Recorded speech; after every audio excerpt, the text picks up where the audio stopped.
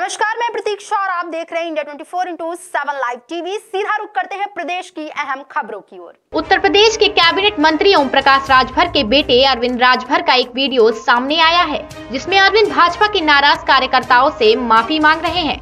वो भी घुटनों पर बैठकर वीडियो में प्रदेश के डिप्टी सीएम ब्रजेश पाठक भी हैं।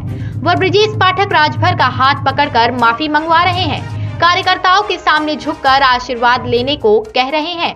कुछ महीने पहले तक ओम प्रकाश राजभर विपक्ष में थे। बीते विधानसभा चुनाव के दौरान उन्होंने भाजपा नेताओं को अपशब्द कहे थे।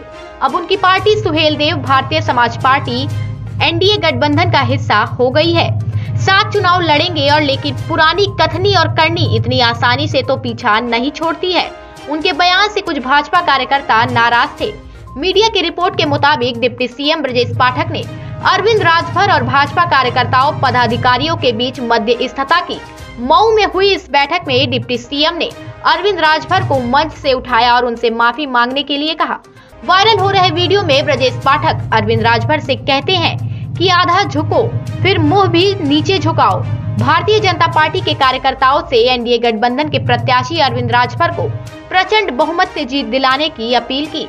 ब्रजेश पाठक के कहने के बाद अरविंद राजभर नीचे झुक कर वहाँ मौजूदा लोग से माफ़ी मांगी। India 24 four into seven live TV के लिए ब्यूरो रिपोर्ट।